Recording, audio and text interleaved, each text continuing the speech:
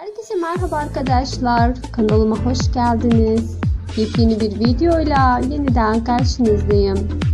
Umarım kanalımdan ve videolarımdan memnun kalmışsınızdır. Öyleyse bana destek olarak kanalıma abone olmayı, videolarımı beğenip bol bol yorum yapmayı unutmayalım. Her zaman olduğu gibi bugün de yepyeni bir haberlerden oluşan videoyla yeniden karşınızdayım arkadaşlar.